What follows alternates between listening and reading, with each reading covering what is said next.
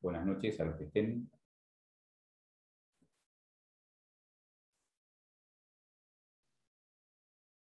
Buenas noches. ¿Cómo andan? Hola. Hola, profe. Hola, buenas noches. ¿Qué tal? ¿Cómo andan? Igual es temprano, ¿eh? Así que vamos a esperar que, que sean las 20.15. Veo acá en mi compu que son las 20.11. Así que vamos a esperar un rato. ¿Alguien sabe cuántos se anotaron en esta comisión? En el grupo de WhatsApp hay treinta y pico. En el Ah, que armó, en el grupo. 37 creo que están en el grupo de WhatsApp, más o menos. Bueno, igual siempre después quedan menos. ¿Mm? Bueno, ¿saben más o menos eh, el programa que tienen? ¿Tienen todos el programa de la materia? ¿O no? Sí. Bueno, yo ahora, esta es la primera clase, les voy a decir qué tema van a dar cada docente para que ustedes este, sepan eh, en las clases que, que participen cuál es el tema que se va a dar en esa clase. Eh, si bien hay un poco de libertad en cada docente de la elección del tema, en la medida de lo posible, los temas se dan para que haya una correlación con el que dio el docente anterior. ¿Está? Este, uno no puede empezar, por ejemplo, en mi caso, no podría empezar por eh, el último punto que tengo, que es el de efectos de los contratos onerosos, efectos naturales de los contratos onerosos, si previamente no les hablé, por ejemplo, de la formación del contrato, de los elementos del contrato. Así que tampoco vamos a hacer un collage en los cuales ustedes se pierdan con, con la materia. Eh, bueno, hoy es, hoy es, el día, es el día que nos tenemos que presentar, así que mientras, mientras llega el horario, a ver quién quiere hablar un poquito, quién quiere hacer una pregunta, hablar algo de la materia. Miren que yo soy, eh, yo en la tercera o cuarta clase me acuerdo de los nombres de todos, me acuerdo de la carta de todos, y esa misma memoria la tengo el día del parcial. Así que el que trabaje en clase y el que haga los trabajos prácticos, seguramente este, va a probar, va a ser más fácil, ¿no? Así que comiencen, alguno que empiece a hablar, Sabrina, vos tenés ganas de hablar, pero te da, te da vergüenza. Estás, esa sonrisa de tener, tengo ganas de hablar, pero no me animo. No, ¿Qué tal? Buenas noches. No, yo eh, la- el cuatrimestre pasado me había anotado, pero asistí a pocas clases porque, bueno, después se me complicó con el trabajo, pero bueno, ahora retomé, retomé la, la cursada. Así que bueno, tengo el material, así que bueno, vamos, vamos a ver, podemos sacar un- Ailén, a vos te conozco. A mí, Sí. sí, me pasó lo mismo que, que a Sabrina. Me anoté y creo que hice cuatro o cinco clases y no pude seguir por el trabajo. Así que Está bien. A veces, a veces no sé si los conozco, como yo también doy teoría del derecho, a veces no sé si los conozco de teoría del derecho o cruzaron contratos. No, yo de acá, de acá. De acá, de teoría del derecho. Bueno, ¿alguien quiere hacer una pregunta? Martín Mahmoud. También lo conozco. Estuvo el trimestre pasado, si no me equivoco. ¿Cómo te va, Martín? Hola, doctor, ¿cómo le va? ¿Cómo Estoy prendiendo, tratando de prender la cámara. Hola. Bien, bien. No, no ¿Cómo tengo andas? problema.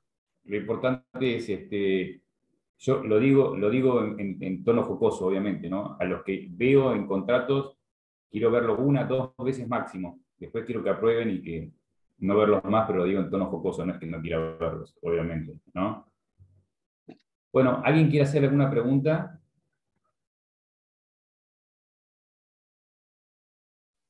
Aprovechen. Una, consulta, los exámenes van a ser presenciales, ¿no? Los exámenes son presenciales, siempre en la medida de la situación sanitaria. eh, no, es, no es una, digamos, hoy en día está pautado que los, los exámenes van a ser presenciales. Eh, también nuestra idea siempre es la oralidad en los exámenes. Sí. A nosotros nos gusta tomar parciales orales para que los alumnos puedan defender las respuestas, porque en un examen escrito no hay, no hay revancha. Vos escribiste algo y quizá lo sabías, y, pero uno no te puede repreguntar porque ya lo escribiste. En cambio, en un examen oral uno, uno puede avanzar sobre la, la respuesta para que vos la modifiques, la rectifiques y este, digas lo que es correcto, que quizá también era algo que lo sabías, pero los nervios del propio parcial te llevaron a poner una, respuesta equivocada o a decir una respuesta equivocada. Eso en un examen escrito no se puede. También dependerá de la estación sanitaria, porque los exámenes orales, digamos, no eh, tienen una, una, duración que quizás sea demasiado, demasiado prolongada, vuelvo a repetir, de acuerdo a la situación sanitaria. Está, si nosotros tenemos, por ejemplo, como dijo no sé si fue Azul, que dijo son, que hay 31 o 37 alumnos en el, en el chat del WhatsApp. Es mucho tiempo para un examen oral, así que capaz que el examen va a ser escrito. Eso, por eso, eso todo lo vamos a ver sobre la marcha. ¿eh? Bien. Respecto a la bibliografía, no hay, una, no hay un libro especial para que ustedes estudien. Eh, eh, yo siempre digo que ustedes, obviamente, a las clases tienen que, completarla con, algún texto pero, y, mucho con el código. Pero siempre planteo esto, ¿no? El docente cuando prioriza los temas del programa y da esos temas en la clase es porque evidentemente los considera importantes. Con lo cual después, cuando llega el momento del examen, seguramente se va a referir a esos puntos, porque hablaría muy mal de mí si, por ejemplo, yo cuando doy un punto del programa que a mí me toca, toco determinados ítems y después cuando llega el parcial tomo otros. Eso sería, eh, sería de mala fe, justamente uno de los de las bases de la contratación, que es la buena fe, ¿no? sería mala fe, con lo cual este convenio que tenemos nosotros, que hacemos al principio de la cursada, ¿eh? no es un contrato porque no, es, no hay relación jurídica patrimonial, pero este convenio que hacemos se vería vulnerado si yo doy algunos temas y después pregunto otros. Con lo cual yo siempre digo que las clases son importantes, independientemente de que se toma una foto, ¿no? Nosotros tomamos una foto de la, de la cruzada aproximadamente entre las 20.30 y 20.45 para ver a aquellos alumnos que asisten a, a, a, la cruzada porque tienen que tener el 35% de asistencia, independientemente de esa obligación que es formal, hay este, una cuestión de interés es justamente saber en el punto que se toca cuál es la idea del docente sobre la importancia del punto. Entonces, sabiendo que el docente toca determinados temas, esos mismos temas son los que van a ser preguntados o los que le interesa al docente el día este, del examen. ¿no? Como yo siempre digo, uno no pregunta o uno no quiere preguntar a aquellos que no sabe el alumno, sino que uno intenta preguntar a ver cuánto conoce el alumno de la materia. Eh, la materia, para mí, contratos son los civiles, es una, de, los, de los civiles es uno de los más lindos, es este, algo que nosotros vemos cotidianamente. Si yo les preguntara a ustedes, alguno seguramente habrá leído el código, si yo les digo, a ver, ¿qué piensan ustedes de un contrato? ¿Qué es un contrato? Seguramente me dirán, es un acto jurídico bilateral este, por el cual dos o más partes manifiestan su consentimiento para crear, regular, modificar, transferir o extinguir relaciones jurídicas patrimoniales. ¿no? Y yo les digo, uy, fantástico, saben el artículo 957 de memoria. Sin embargo, si yo les preguntara a ustedes qué es un contrato por fuera de la, de la ley, fuera de lo que dice el código, a ver, Constanza, que estás, tengo a Sabrina y Len que ya habló, Constanza, que le tengo tercera en la fila en mi Zoom, ¿Qué es un contrato, Constanza? Fernández debe ser, ¿no? Sí, exacto. Eh, un convenio entre dos zonas, justamente, es un acto jurídico, eh, que se utiliza para eh, extinguir lo que usted dijo, ni más ni menos pero, que mira, vamos, vamos, a hacer, vamos, a hacer, vamos a utilizar lo que vos dijiste y te voy a hacer dos críticas. La primera, decís convenio o convención, ¿no? Uno lo utiliza siempre, siempre, siempre lo utiliza como si fueran sinónimos y no lo son. La diferencia entre contrato y convención es que en la convención no tiene por objeto una relación jurídica patrimonial. ¿Qué quiere decir esto? Que dos o más personas pueden hacer un convenio, por ejemplo, vos y yo somos, somos los dos padres de un hijo, entonces hacemos un convenio respecto al régimen de comunicación o respecto al cuidado personal. Está porque eso no tiene un contenido patrimonial. Cuando vas, hablas de un contrato no puedes hablar de convenio porque, o de convención, porque la convención no tiene contenido patrimonial. Sin perjuicio de lo cual, sin perjuicio de lo cual, Constanza, yo te aseguro, y lo hago yo en, mi profesión, cuando hacemos un contrato, cuando nos pide un cliente que hagamos un contrato, ponemos en la ciudad de Mar del Plata, los tantos días del mes de agosto del 2021, este, se reúnen por una parte Constanza Fernández, DNI, tal, con este, domicilio constituido, cuestión de domicilio en tal lugar, llaman adelante la parte X, ponele vendedora, locadora, mutuante, lo que sea, este, por una parte y por la otra, Eduardo Gambini con DNI tanto, con domicilio en tal lugar, llamaron adelante, la locataria, la mutuaria, la depositor, que sea. Y deciden formalizar el presente contrato sujeto a las siguientes cláusulas y convenciones que se detallan a continuación. ¿no? Convienen celebrar el presente, convienen, ¿eh? también utilizamos la palabra convienen, no como convención, sino como pacto. Pactan las partes en celebrar el contrato. En realidad a veces hay diferencias nimias respecto de lo que es, por ejemplo, un contrato ¿eh? de, un convenio, o no de una convención, de un convenio, y a veces decimos que, por ejemplo, en un contrato, en el continuo de contrato, hay pactos. ¿eh? Por eso vieron que cuando hay un contrato, por ejemplo, cláusula primera, cláusula segunda, un contrato de locación. La primera generalmente es sobre el objeto, sobre uno de los objetos que es la cosa, ¿no? el inmueble o la cosa mueble. Eh, por ejemplo, el, locador cede en locación al locatario y este acepta un inmueblecito en calle. Y después la segunda es capaz que es el precio. Dicen, pactan las partes que el precio o acuerdan las partes que el precio.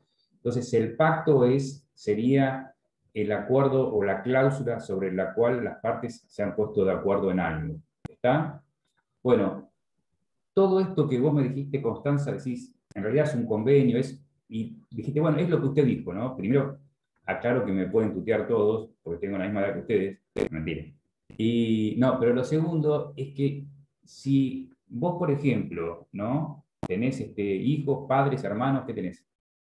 ¿Tu familia? Sí. ¿Qué, tenés? Tu, tu, papá, tu mamá te pregunta, ¿qué es un contrato? ¿Vos qué dirías? Un acuerdo. Entonces, entonces ella te dice, por ejemplo, vamos a suponer que vos dices un acuerdo. Bueno, vamos a acordar de que vos esta noche no salís a bailar, por ejemplo. Sí. ¿Sería un contrato eso? No, porque tiene que tener justamente, te dijo, contenido patrimonial o no. Bueno, entonces, ¿qué le dirías vos? A tu mamá, ¿qué le dirías? Mira, yo te voy a explicar lo que es un contrato. ¿Qué le dirías? Ay, em, que. Bueno, sí, que es un acuerdo, pero de contenido patrimonial. Ajá. Y, tu mamá te dice, ¿y para qué sirve y por qué? Te dice, a ver, explícame, ¿quién, quién, quién dio esto del contrato? ¿Vos qué le dirías? ¿Para qué em, sirve el contrato? Y para cumplir con la obligación. No, porque vos cuando celebras un contrato no cumplís con ninguna obligación.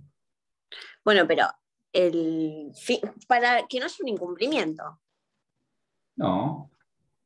No, cuando nosotros celebramos un contrato, por ejemplo, yo tengo un contrato de común, te presto el código, mi código, mi código civil y comercial. Te lo presto. ¿Para qué celebramos ese contrato? Para que yo te lo devuelva, ¿no?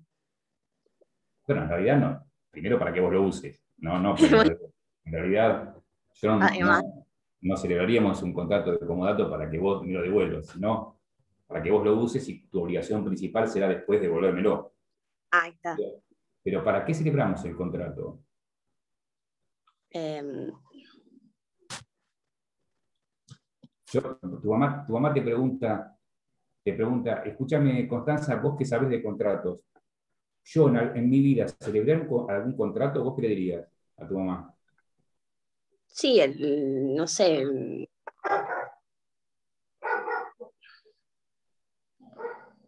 No sé, de tenerme, qué sé yo. Bueno. Pero no, porque no es algo escrito ni... Bueno, tu mamá me había llamado antes por teléfono, ¿no? Y te retó en ese momento porque te dijo, sí, sí, celebré, no solo que celebré contratos, sino que celebro todos los días contratos y vos también. Porque el contrato es algo tan cotidiano que lo celebramos todos los días. Cuando vamos, por ejemplo, a comprar los caramelos que yo consumo diariamente, o cuando vamos a comprar el agua saborizada, o este, cuando utilizamos, por ejemplo, en, el caso, en este caso es gratuita, pero cuando utilizamos una plataforma, por ejemplo, para comunicarnos que pagamos, cuando nosotros... El colectivo, profe. El colectivo, internet, para poder comunicarnos. Este, eh, yo, eh, Rocío, ¿fue que dijo el colectivo? Sí, fui yo. Muy bien, viste, cuando, cuando estábamos en la facultad, ahora no, yo digo, ¿quién celebra un contrato? Y muchos, hay muchos que no levantan la mano, entonces yo digo, ¿pero en qué vinieron a la facultad? Y en ese en qué vinieron a la facultad les da la, la pauta de que celebraron sí o sí un contrato. Y me dicen, no, pero los que fueron caminando, y los que fueron caminando seguramente hicieron un contrato de compraventa y compraron zapatos porque si no se les iban a arruinar los pies. O sea que siempre, siempre hay, hay, este, el contrato está vigente en nuestra, en nuestra vida cotidiana. ¿no? Entonces, a mí me gustaría decirle a Constanza que el contrato, independientemente de su definición legal y de lo que uno debe saber sobre el artículo 957 y sobre cuáles son las bases sobre las cuales se sustenta el contrato, lo que tenemos que saber que el contrato nos permite, como yo siempre digo, y ojo, robé palabras de, un jurista, eh, no son mías, el contrato nos permite recortar una parcela de la realidad para satisfacer nuestras necesidades. ¿no? Entonces, si yo tengo la necesidad de transportarme, como dijo Rocío, ¿no? Entonces yo hago un contrato de transporte, entonces yo esa, recorto esa parcela de la realidad, celebro un contrato de transporte y eso me va a permitir cubrir mi necesidad de llegar a tal lugar. Si yo tengo hambre, ¿no? y esa es mi necesidad, yo puedo ir a un supermercado, almacén, kiosco, lo que ustedes quieran, y celebrar un contrato de compra-venta mediante el cual yo este, obtengo lo que yo necesito para alimentarme, con la lógica también de la otra parte, ¿no? que recibe dinero bueno, para lucrar o para, digamos, porque es un negocio. En ambos, en ambos casos, por ejemplo, la compra-venta, el objeto principal para mí, que soy el que tiene hambre, será la comida y el objeto principal para quien me la vende será el precio. ¿Está? Entonces, Constanza, viste que el contrato es un poquito más lo de la definición, ¿no? Sea... Sí, un poco más amplio. Es, un, claro, digamos, a, dónde apunto? A que nosotros no solo tenemos que, saber, por una cuestión este, lógica, tener información acerca de las normas, del código, de las leyes especiales, sino también tenemos que saber razonarlas, porque en definitiva, cuando nosotros utilicemos este, eh, las normas, las vamos a tener ya, ya prácticamente no existen los libros. Yo pongo Google, pongo Código Civil Comercial, Infoleg, este, y a mí me, y yo gratuitamente tengo las normas del código, con lo cual sería, eh, sería eh, algo obsoleto para nosotros dar la materia en forma enciclopedista y preguntarle a ustedes este, que nos digan de memoria o que nos repitan artículos del código que a ustedes no les sirve nada en la práctica porque en la profesión los van a tener al lado de ustedes, lo que van a tener que saber es analizarlo y cómo aplicarlo.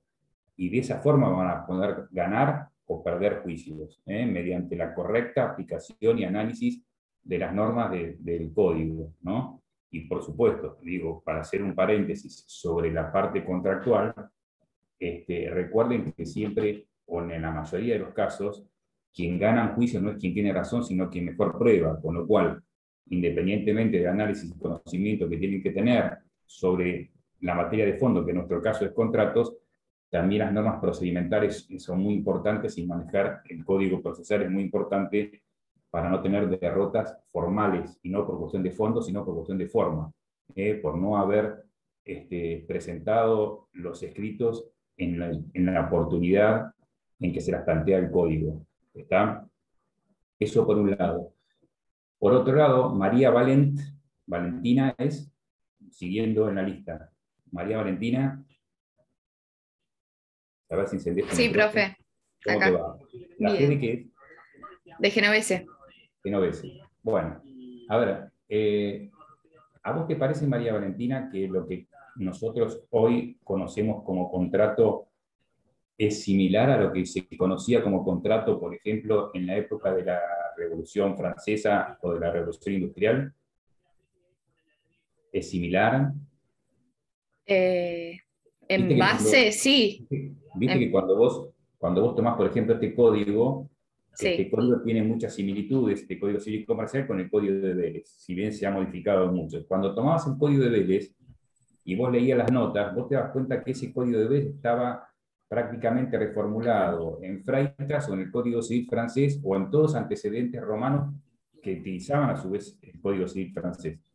Con lo cual, aparentemente, con el Código de Vélez era una, digamos, eh, fue fantástico Vélez, un gran, un gran este, legislador, un gran codificador, pero, digamos, usó su fundamento en el Código Civil francés y en los antecedentes del Código Civil francés. Entonces, María Valentina, te escucho. Que sí, que en principio sí, hay un montón de cosas que cambian, pero que la base del contrato vendría a ser lo mismo para mí. Ajá. Y te pregunto, ¿cuál sería la base del contrato? Y lo que... No te siento, primero, no es un examen, ¿eh? O sea que equivocate todo lo que tengas que equivocar. Bueno. Eh, que la base del contrato sería lo que veníamos diciendo de un acuerdo entre dos personas sobre una cosa en especial, que ambos se benefician.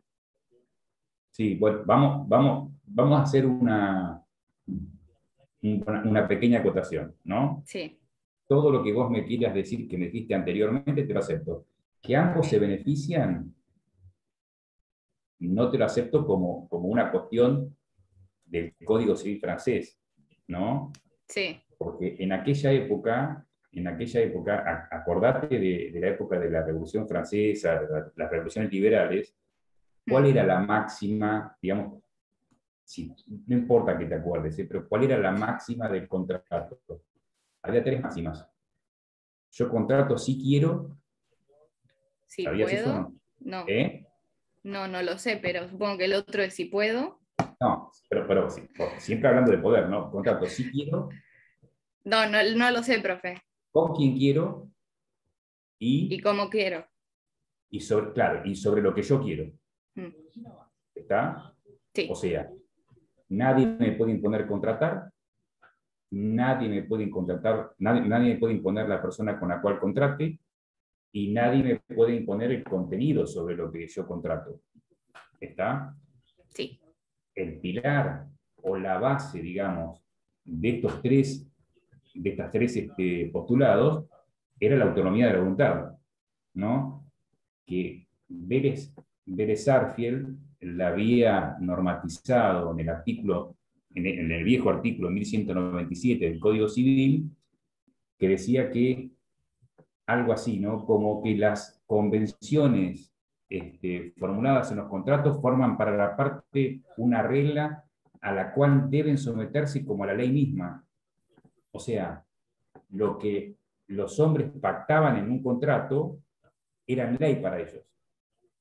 Eran como si fuera la ley. Entonces, ¿qué fue modificándose para que se modifiquen estos tres postulados? ¿Qué te parece a vos? En aquella época, mira, yo te digo que si vos te remontás a aquella época, te diría que esos tres postulados funcionaban a la perfección porque no te olvides que durante la vigencia de esta, del Código Civil francés y en aquella época ¿no? de las revoluciones liberales, el mundo se regía justamente sobre una economía de neto corte liberal en el cual lo dominaba, digamos, la ley de la oferta y la demanda. ¿no? Por eso la autonomía de la voluntad se imponía.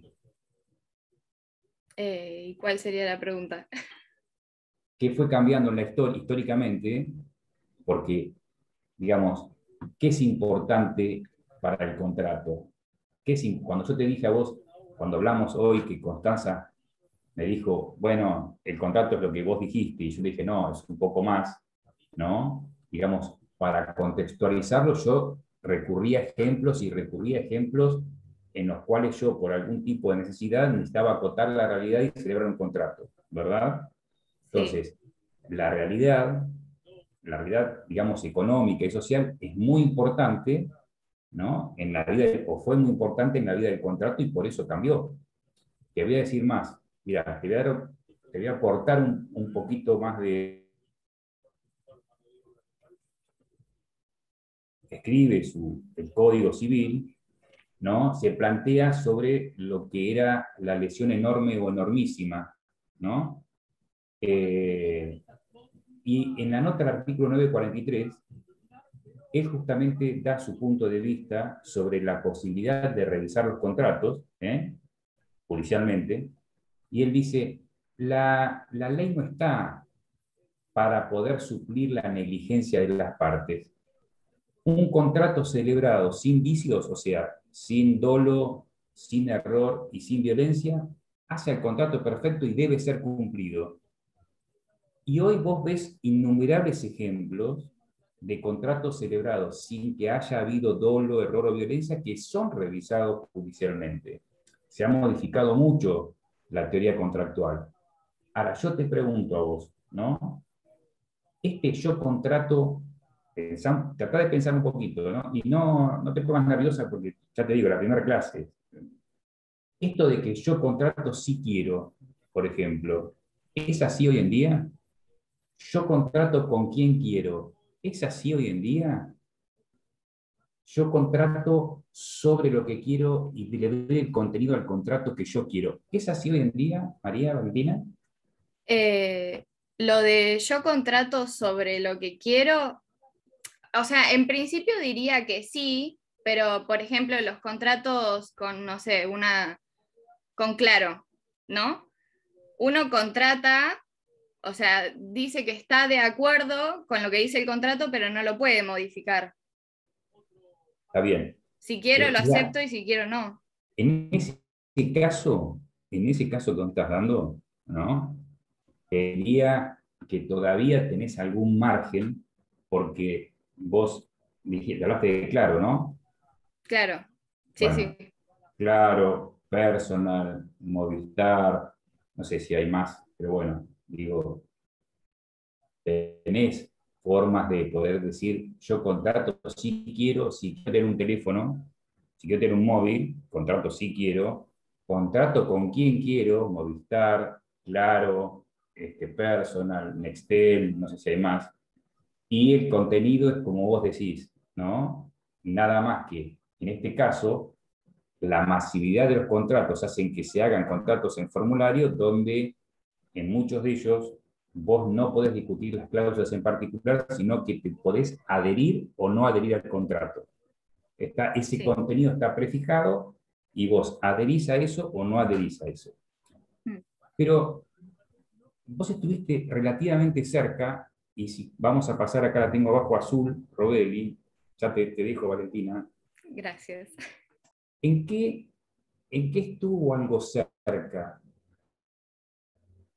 Te voy a llamar Valentina en vez de María. Ay, perdón, se trabó todo, no escuché qué preguntan. No, el tema es así. Yo digo que Valentina estuvo cerca, ¿no?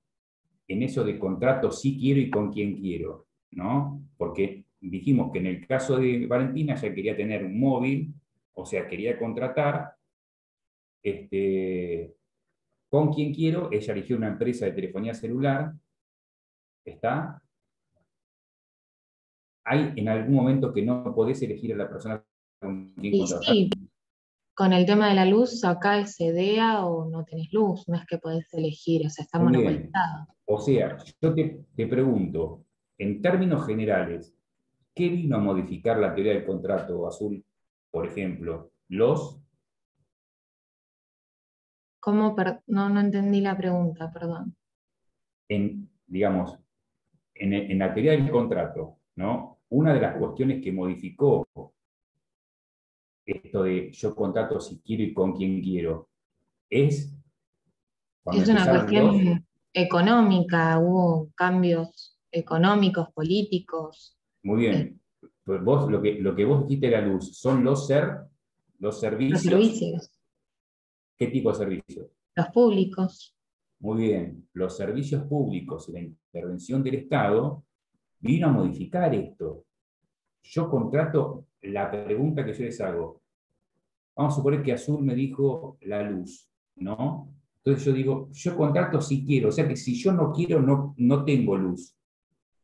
Está, pero si yo quiero estar en el sistema, yo tengo que tener luz. O sea que, y aparte, por ejemplo, si yo tengo un inmueble donde pasa determinado cableado, yo tengo que pagarlo, lo use o no lo use, o sea que me imponen contratar. O sea que ya no contrato si quiero.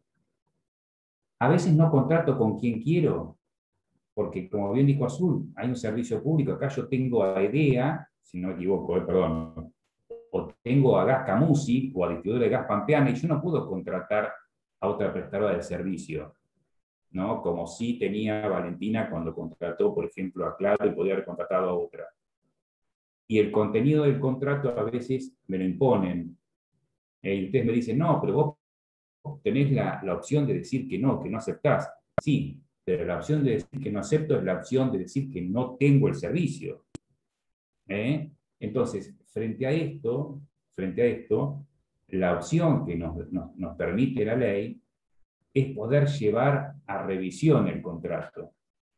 Entonces, no solo tengo no solo tengo la posibilidad de ir a defensa del consumidor, yo como consumidor, para poder este, eh, realizar las, las quejas pertinentes por el servicio que me prestan, sino que en cualquier tipo de contrato, yo, ante determinadas circunstancias, tengo la posibilidad de la revisión judicial que Vélez tanto, este, tanto estaba en contra, ¿no? porque decía que si se revisaban todos los contratos, entonces nadie iba a querer contratar yo tengo la posibilidad de llevar el contrato ante la justicia para que se revise y en su caso se modifique. ¿Siempre va a ser así? No, tiene que haber determinadas circunstancias que a mí me permitan poder modificar un contrato, ¿no? poder llevar a revisar y a que se modifique un contrato. La modificación del contrato, ya se los digo ahora, puede ser que uno lo haya... No, no, no lo copien ahora, ¿eh? no copien que ya vamos, digo Constanza, porque esto lo vamos a ver, vamos a ver después. La, modificación del contrato y su adecuación a las nuevas circunstancias puede haber sido pactada a inicio por los contratantes, es cuando yo, por ejemplo, preveo que va a haber determinada inflación, entonces yo adecuo justamente el precio a, la inflación, por más que esté este, prohibida la indexación, pero yo busco mecanismos de, adecuación del contrato, con lo cual esa adecuación va a ser voluntaria. Y también puede ser que esa adecuación, esa modificación del contrato sea por medio de la ley. ¿Y qué es lo que, qué parte de la ley a mí me permite modificar un contrato? Y, por ejemplo, ante circunstancias extraordinarias e imprevisibles, lo que se llama la teoría de la imprevisión, mal llamada, que es de la imprevisibilidad porque lo que se protege es aquello que es imprevisible y no imprevisto, yo puedo llevar un contrato a la justicia para que la justicia lo adecue, ¿no? Les voy a, para que ustedes empiecen a manejar terminología, ¿por qué yo digo que no es imprevisión, sino que es imprevisible? Porque si yo fui negligente y yo no preví en un contrato algo, yo me tengo que bancar las consecuencias. Si en cambio yo en un contrato distribuir los riesgos y sin embargo al día siguiente o al tiempo hubo un acontecimiento extraordinario que yo no lo pude prever, entonces para mí fue imprevisible, la ley me permite que yo ese contrato lo lleve a realizar. ¿Se entiende? Cuando hacemos un contrato, ¿no? Eh, no sé quién dijo, no sé fue eh, Valentina que dijo, para que ambas partes tengan beneficios, no sé si fue Valentina en su momento. Bueno, en realidad lo que hacemos cuando celebramos un contrato es distribuir los riesgos del contrato. ¿eh? Cualquier tipo de contrato, uno cuando pacta las cláusulas, uno distribuye riesgos. ¿Qué riesgos, cómo distribuimos los riesgos? En base, primero, a la información que tenemos ¿no? de las circunstancias socioeconómicas del momento. Segundo, la poca información que podemos tener sobre cuestiones que seguramente sucederán en el futuro, sobre lo cual, si bien no tenemos tanta información, distribuimos los riesgos. Pero lo que no vamos a hacer nunca en un contrato, la que generalmente no hacemos, es distribuir riesgos sobre cuestiones que no sabemos que va a suceder. ¿Está? Entonces, eso que no sabemos que va a suceder es lo imprevisible. Uno no lo puede prever.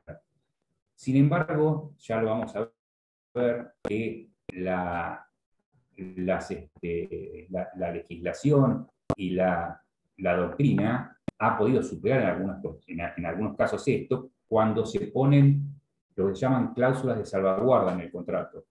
Se ponen cláusulas en las cuales las partes, si bien no conocen lo que puede suceder, ponen, por ejemplo, ante determinados cambios económicos, fiscales, políticos, eh, de cualquier índole, las partes se obligan a, negociar una nueva solución de la que estuvo planteada. O sea, las partes se obligan a renegociar. Eh, acá dice Florencia Martínez. Bueno, todo el tiempo se damos contratos, incluso vamos a salir a comprar, es verdad. Y Carlos Damián Valls dice, profe, en los contratos aleatorios no se contratan asumiendo riesgos. Sí, este, Carlos, eh, ya lo vas a ver con el doctor Juárez cuando le das clasificación, que los contratos son conmutativos o aleatorios. Los conmutativos son cuando desde el inicio nosotros sabemos cuáles son las ventajas y desventajas del contrato. En los contratos aleatorios, una de las partes asume un riesgo. Por ejemplo, si yo compro una cosecha futura y yo la pago, yo asumo el riesgo de que esa cosecha sea buena, por ejemplo, ¿no? que no granice, que no llueva en demasía o que no haya mucha... Entonces, yo asumo un riesgo, asumo un riesgo que naturalmente no asumiría. Fíjense, les voy a dar un ejemplo que lo van a ver, lo van a ver, no sé si con el doctor Cataldo conmigo, pero lo van a ver, con lo cual no me estoy yendo de la materia.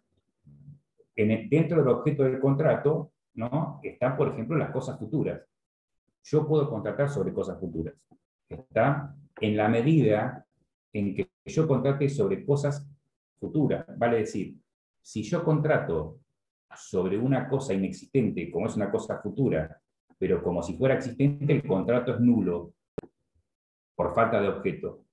En cambio, si yo contrato sobre una cosa inexistente como futura, o sea, yo le digo a la otra parte, mira, yo no lo tengo, pero pienso tenerlo en el futuro, por ejemplo, cuando yo contrato sobre algo que voy a fabricar o cuando yo contrato sobre algo que estoy sembrando, pero no sé si va a crecer, el código dice, el código dice, ¿no? que cuando se contrata sobre cosas futuras, es como si hubiera una cláusula implícita que es con la condición de que llegue a existir. Vale decir que si yo contrato sobre una cosa futura y no pongo nada, no escribo nada abajo, si existe, yo la pago y si no existe, yo no la pago.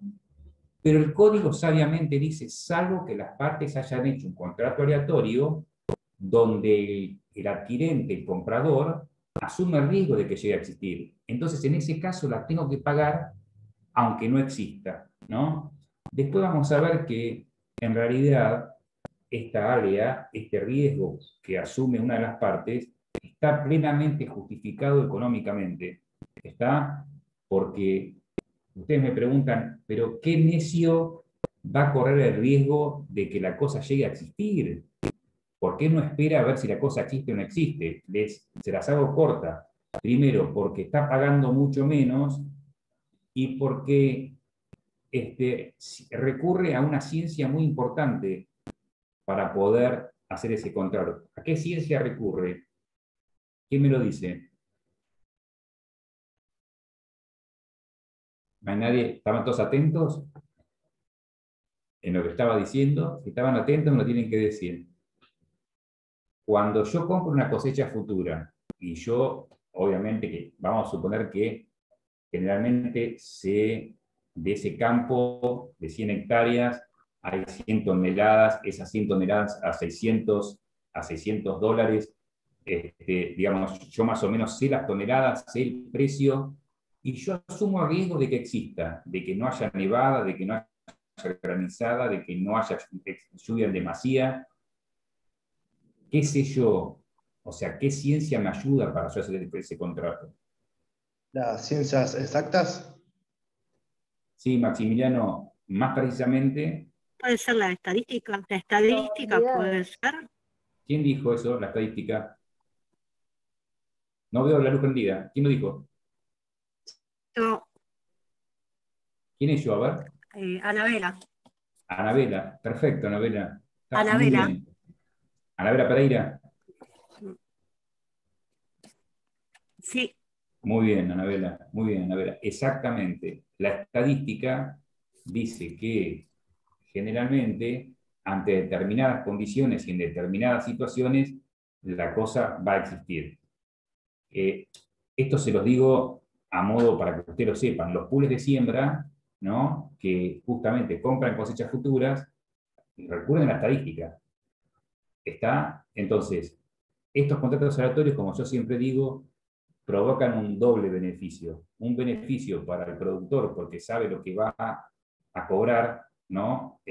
exista o no exista la cosa, llega a existir o no llega a existir, con eso va a pagar el gasoil, va a pagar los impuestos, va a pagar la cuadrilla, va a pagar la cosechadora, va a pagar este, lo que sea y va a tener una ganancia, y la otra parte paga menos, ¿está? Y seguramente va a ganar porque dentro de los pools de siembra, si le fracasa uno, los restantes la diferencia que hace con los restantes va a ganar. Pero bueno, esto es, esto es un pantallazo de lo que es el contrato. Ahora me voy a permitir este, darle los puntos que vamos a dar a cada uno. El doctor Cataldo, si quieren copiar, este, para que lo sepan en el futuro, va a dar libertad contractual después va a desarrollar todo, todo el punto, desde el punto 4 de la unidad 1, va a desarrollar todo el tema.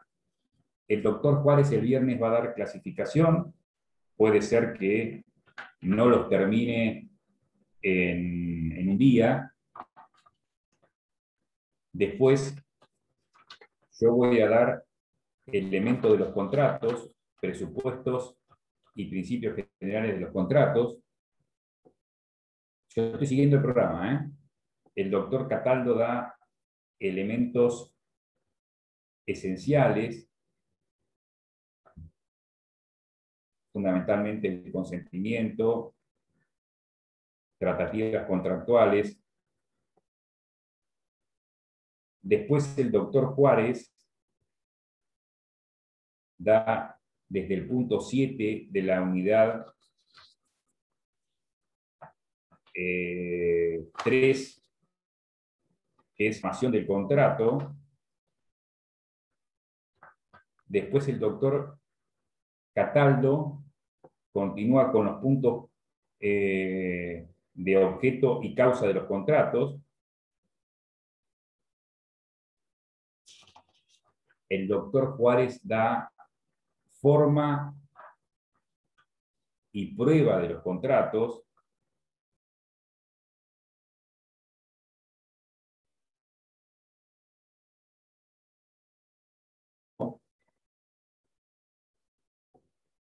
el doctor Juárez da la unidad 7, que es efectos del contrato. El doctor Cataldo da la unidad 8, que son efectos propios de los contratos bilaterales.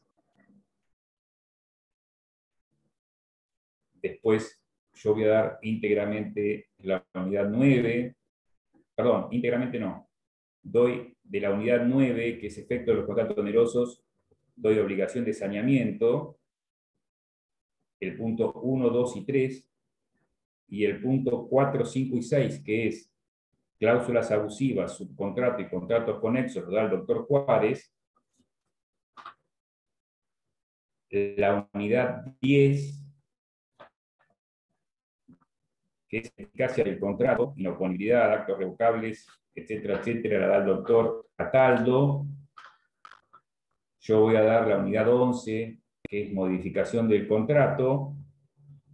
Y por último, el doctor Cataldo, la, unidad 12, extinción de los contratos,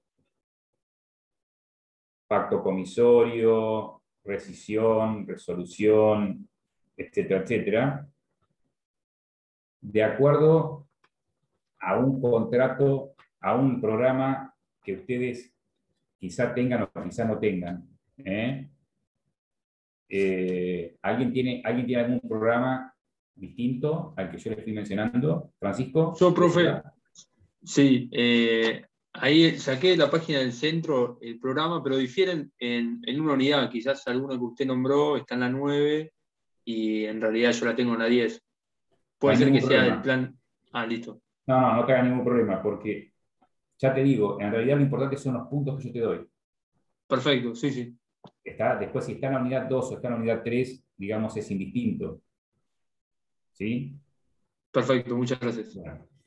Eh, ¿Alguna pregunta sobre, lo que, sobre cualquier cosa que, quieran? O pregúntenme sobre lo que quieran.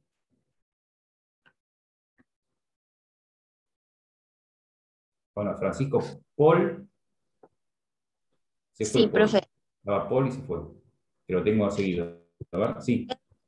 el libro de Borda, el actualizado, para complementar con las clases, ¿está bien?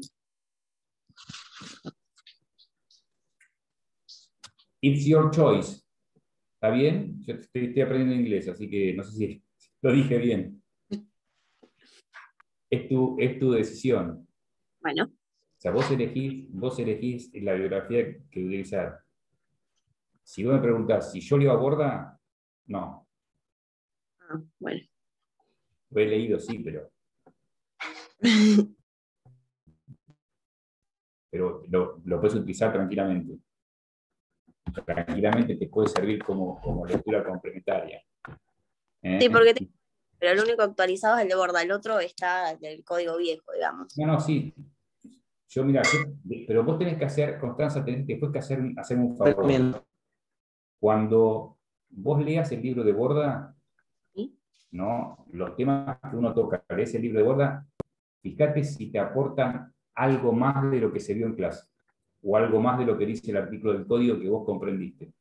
Perfecto. ¿Alguna Gracias. pregunta? Si no es ese, profe, ¿qué otro el libro recomienda? No, no, cualquiera. No, no, ah, no te diga, no, no, no. No, no, porque en realidad hay una cosa que dice Constanza que es, que es cierta, ¿no? Digamos, uno cuando estudiaba, uno eh, traía de, de, los, de las cruzadas anteriores, este, de los que habían cruzado anteriormente, nos iban pasando los, los libros, ¿no? Y bueno, en un momento hubo un corte, ya que en el, 1 de agosto del 2015, con entrada en vigencia del Código Civil Comercial, todos los libros que teníamos hasta ese momento eran libros que se basaban en el Código de Vélez, ¿no? Con lo cual, y aparte el costo de los libros, que es, es, alto hoy en día, hace que este, es, difícil que alguien te pase los libros que, que venían utilizando.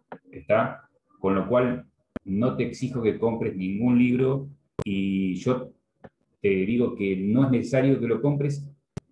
Tenés la biblioteca de, la facultad virtual, tenés un montón de posibilidades de conseguir virtualmente bibliografía y tenés la posibilidad de utilizar el grupo de chat de, la comisión, que no sé si, yo no sé si me agregaron a mí, porque no, no sé si me... Después alguien que escriba a ver si me llega. Eh, Rocío, vos que dijiste que había treinta y pico de alumnos, escriban algo a ver si me llega, podés consultarme a mí lo que sea, Francisco. ¿eh? Perfecto. Eh, yo, independientemente de que todos los... Sí. Que también podemos eh, complementar con el campus, porque vi que hay bastante material. Exacto, con el campus podés complementarlo, ¿no?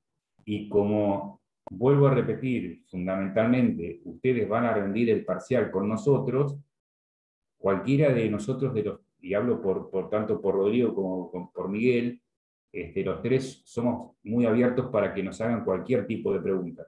¿eh? Este, algunos tienen vergüenza de utilizar el, WhatsApp de la, cátedra, entonces, ¿qué hacemos nosotros? Les damos nuestro correo electrónico.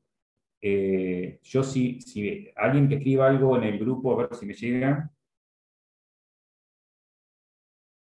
porque yo tenía un grupo que era Comisión 4. Debe ser del año pasado. Yo creo que Igual, profe, si quiere, ahora lo agregamos. Yo tengo la administración y lo puedo agregar. Bueno, agregame. Eh, nosotros, nosotros generalmente estamos en, todos los grupos. Eh, después, bueno, después que me agregan, este, no digan, che, fue un embole la clase, esas cosas, eh, guárdensela, hagan otro chat privado.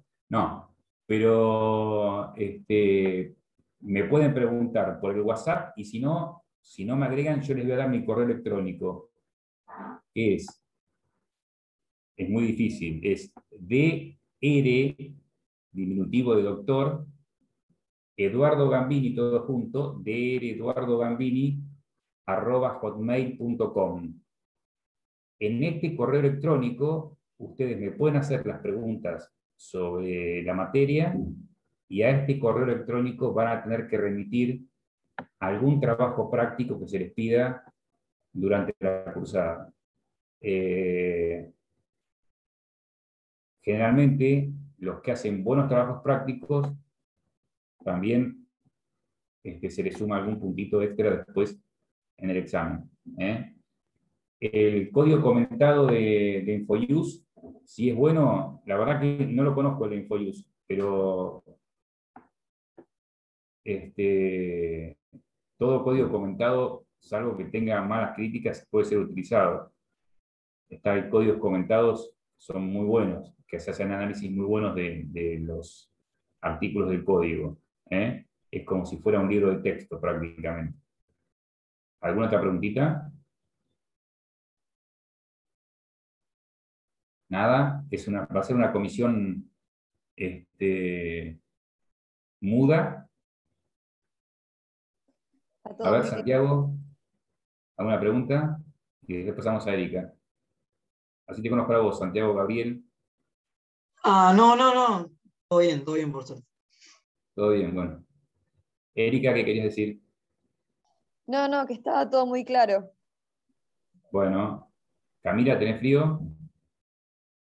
¿Qué? ¿Tiene frío? Sí. Acá se ve todo, ¿eh? está con, el, digo porque está con, la, las mangas. Sí, tengo frío. ¿Cómo estás este año? Esta vez, ¿estás? Martín Mahmoud, ¿te aburrís?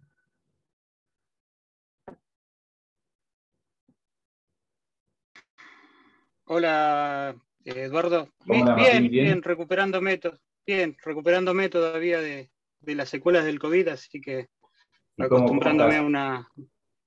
Y más o menos, porque perdí la visión de un ojo y tengo la tiroides arruinada, así que nada, eh, acostumbrándome. Bueno, espero a sobreponerse. que mejore todo. ¿eh? Gracias, Eduardo. Eh, y espero dar la materia. ¿Eh?